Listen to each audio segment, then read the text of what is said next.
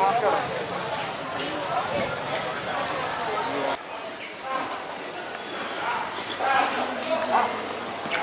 sore, mohon izin Pak. Ini dari Polsek Kabajati, Bubur Covid ikut saya sama saya. apa nanti diminta lihat di ngomong.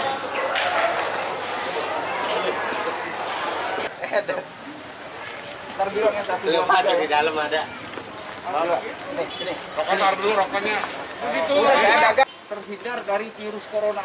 Bapak jangan ketawa-ketawa. Enggak itu enggak enggak. Dengar dulu nih, Bapak. Bapak kalau Bapak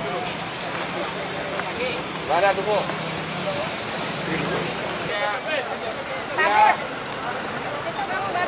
Bapak aja sini diam. Aja, aja.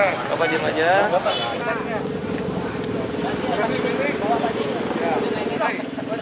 Ini driver ya? Dari luar kota ya? Dari mana? Dari Medan. Kirim apa? Periksa dulu ya, biar sehat. Nanti dikasih surat keterangan ya. Keterangan.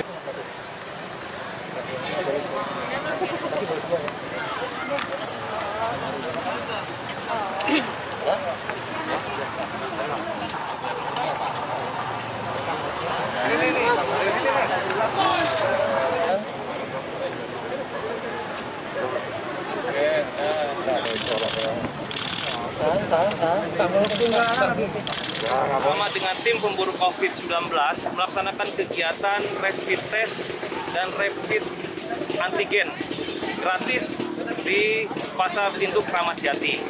Ya, ini merupakan program dari Polda Metro Jaya, yaitu Operasi Kemanusiaan Jaya dan penegakan protokol kesehatan COVID-19. Ya, Eh, kenapa dilaksanakan di sini? Karena memang di sini lalu lintas orang dan barang cukup tinggi.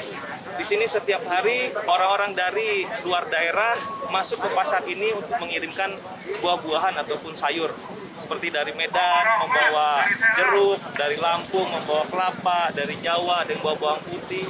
Sehingga potensi penyebaran di sini cukup lumayan dan kita lakukan antisipasi dengan melakukan rapid test dan rapid antigen secara gratis dan kita berikan mereka surat keterangan juga secara gratis. Target eh, sebisa mungkin satu hari ini eh, paling tidak 100, besok terus akan tetap berjalan ya.